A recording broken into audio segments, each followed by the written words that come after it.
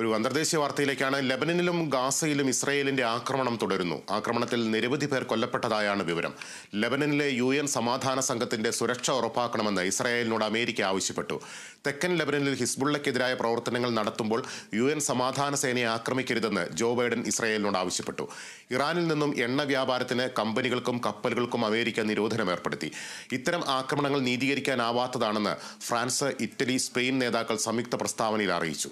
അതേസമയം വടക്കൻ ഗാസയിൽ ജബാലിയ പട്ടണത്തിലുണ്ടായ ആക്രമണത്തിൽ മുപ്പത് പേരെങ്കിലും കൊല്ലപ്പെട്ടതായി ഹമാസ് പറഞ്ഞു.